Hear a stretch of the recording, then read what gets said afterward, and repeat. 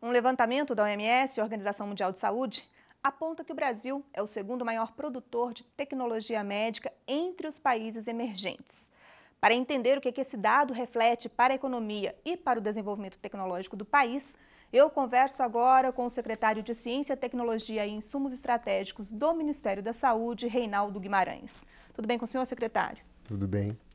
Secretário, quando a gente fala que o Brasil conseguiu chegar ao segundo lugar entre os emergentes nessa classificação, o que, que isso representa para o Brasil? O que, que a gente conquistou de fato?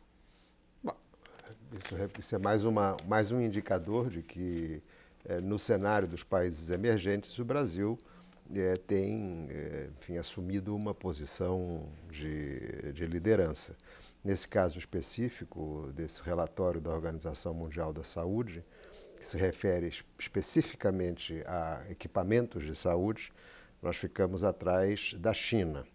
Mas é bem verdade que, se pegarmos é, todos os países emergentes, os 20 países emergentes, né, é, a, a, participação deles todos, China, Índia, Brasil e os demais, é, isso não passa de 10 ou 15% do, da produção mundial. Os Estados a, Unidos ainda lidera. Ah, não, lidera com talvez um pouco mais de 50% de tudo que se produz em equipamentos médicos, e aí você tem também o Japão, muito importante, vários países da, da União Europeia.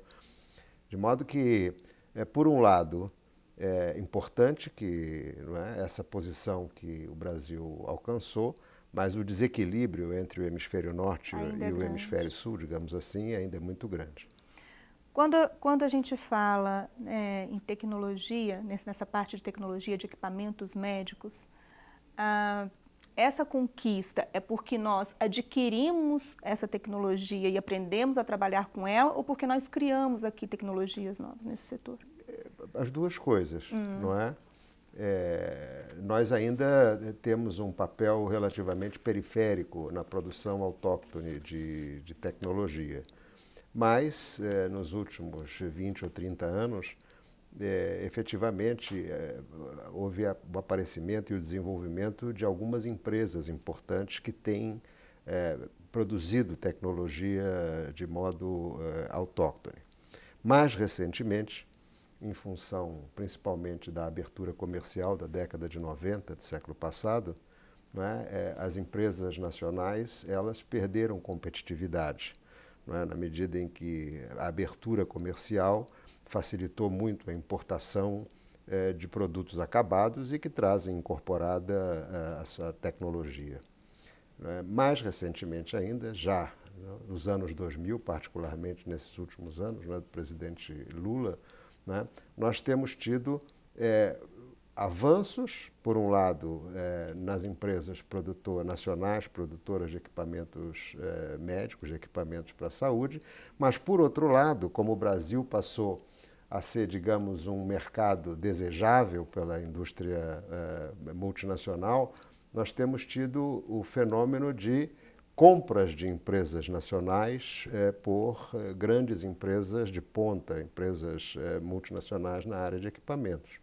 Nos últimos anos, quatro das principais empresas nacionais de equipamentos de saúde foram adquiridas por apenas uma das três ou quatro grandes empresas multinacionais. É, em princípio, isso não, não teria, digamos, nenhum Impacto. prejuízo, uhum. exceto pelo fato de que é, a dinâmica tecnológica nessa área no mundo, ela é movida por, digamos, por razões comerciais e nem sempre as razões comerciais elas, digamos, se articulam perfeitamente com as necessidades é, no plano de saúde, de pública. saúde pública.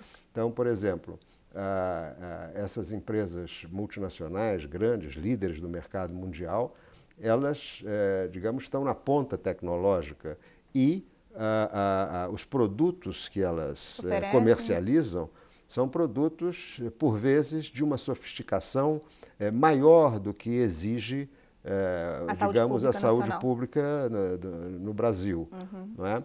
É, então, este, este, é um problema, quer dizer, isso pode. É, a compra de empresas nacionais é por empresas. de interesses aí. A, né? compra das empresas é, nacionais por empresas multinacionais pode significar, digamos, o que se chama um push-up, não é? Uhum. Uma, uma, um, uma elevação da tecnologia dos produtos dessas empresas compradas, o que vai gerar é, aumento de preços, né, aumento de custos para o sistema de saúde e assim por diante. Além disso, é, nem sempre as empresas compradas sobrevivem. Às vezes elas são compradas para serem fechadas. Eu não estou dizendo que isso vai acontecer, mas é um risco que se tem. Ah, do, do, que é produzido, do que o, o, Brasil conseguiu se destacar em algum instrumento, em algum equipamento nessa área? Tem alguma coisa que era necessária que nós identificamos aqui? O Brasil precisa se especializar mais nessa, nesse tipo de tecnologia médica para atender a uma necessidade brasileira de é. saúde pública. Deixa, deixa eu dar um quadro mais geral para você.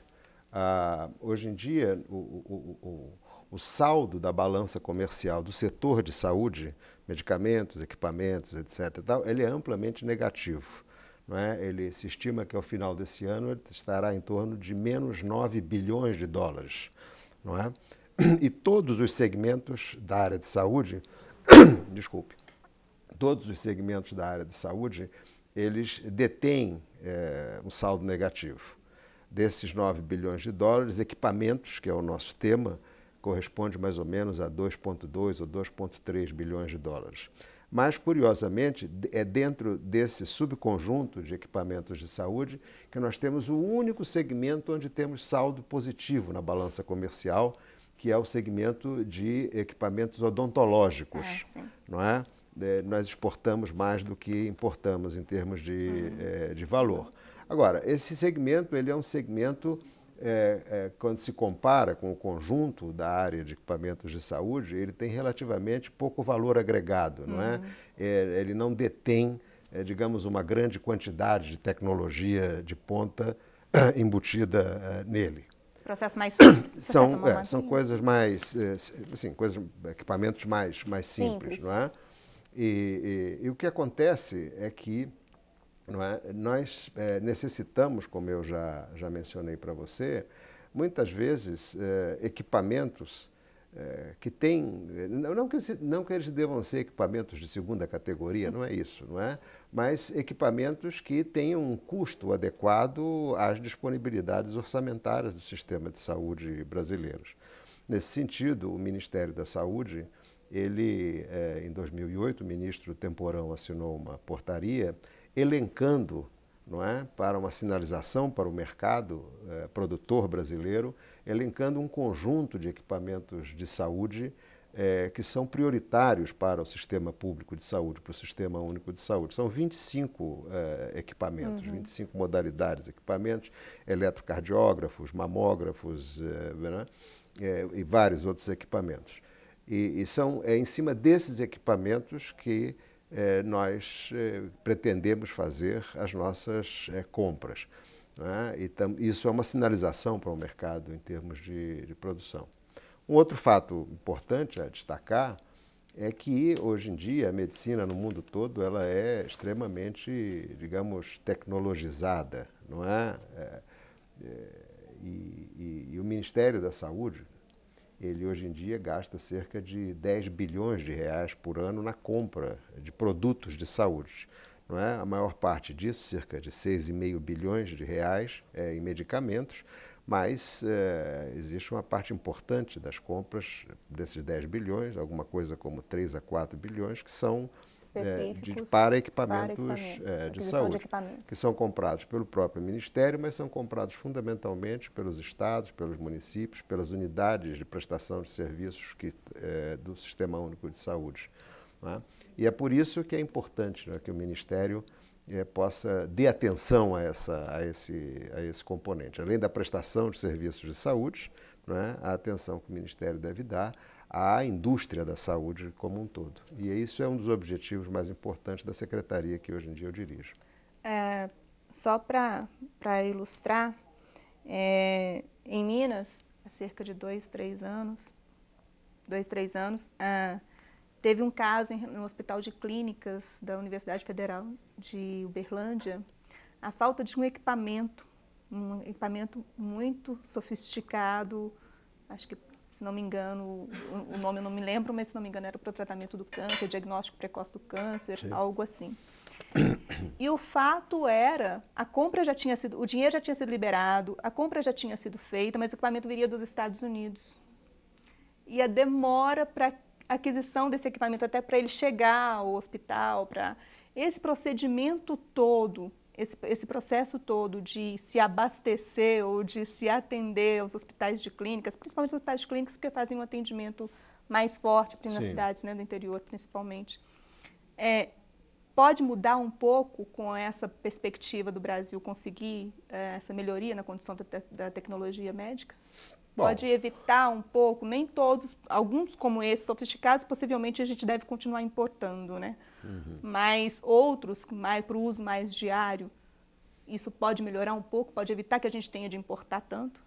Não, certamente. É, o estímulo não é, às empresas é, nacionais é, fará com que é, nós é, possamos é, atender ao mercado interno e mesmo exportar de uma maneira mais intensa, intensa do que existe hoje. Em outras palavras, diminuir esse déficit da balança comercial uh, setorial. Mas, uh, no caso de... O comércio internacional hoje ele é muito fluido, não é? Quer dizer, é claro que você tem um rito, principalmente se há, se há uma compra pública, existe todo um conjunto de controles que, e de, de normas que devem ser respeitadas, e às vezes é, é, processos de importação podem é, demorar. Ser mesmo demorados. Ser mesmo demorados, é. Naturalmente que o, o fortalecimento da produção autóctone é, no país, não é, de equipamentos pode melhorar essa situação. Muito obrigada, senhor, então, pela entrevista, secretário. Então, obrigado a você. Bom, eu conversei com Reinaldo Guimarães, que é secretário de Ciência e Tecnologia do Ministério da Saúde, sobre o levantamento da Organização Mundial de Saúde, que aponta o Brasil como o segundo maior produtor de tecnologia médica entre os países emergentes, para ficando, inclusive, apenas atrás da China. Para saber mais, acesse www.saude.gov.br. Para rever esta e outras entrevistas, www.youtube.com.br. Por hora é só, obrigada pela sua companhia. Continue com a gente, NBR, a TV do Governo Federal.